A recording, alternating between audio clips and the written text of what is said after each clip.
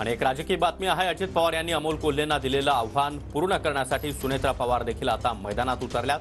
सुनेत्रा पवार यांनी शिरूर लोकसभा मतदारसंघातील वाघोलीमध्ये भेटीगाठी घेतल्या आहेत. जिल्हा परिषदेच्या माजी सदस्य अर्चना कटके आणि माजी उपसरपंच शांताराम कटके यांच्या निवासस्थानी सुनेत्रा पवार यांनी सदिच्छा भेट दिली आहे. शिरूर लोकसभा मतदारसंघामध्ये आयोजित अनेक हळदी कुंकूंच्या कार्यक्रमांना देखील हजेरी लावत त्यांनी महिलांसोबत संपर्क वाढवल्याचं दिसत आहे इतकंच नाही तर पार्थ पवार यांच्यासह सुनेत्रा पवार देखील आता शिरूर लोकसभा मतदारसंघामध्ये उतरल्यानं खासदार अमोल कोल्हे यांची डोकेदुखी मात्र चांगलीच वाढणार आहे.